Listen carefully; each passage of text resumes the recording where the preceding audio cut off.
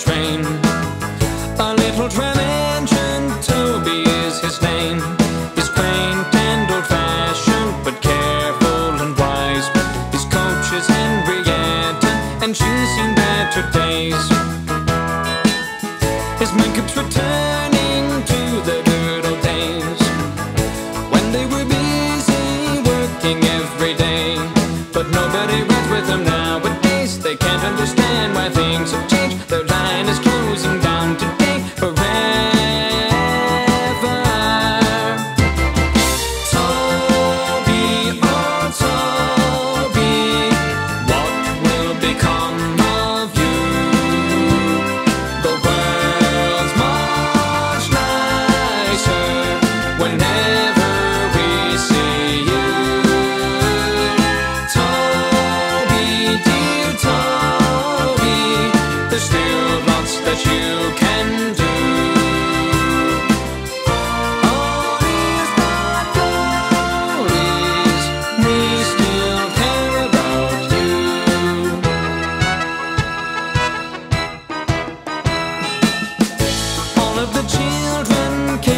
Say goodbye.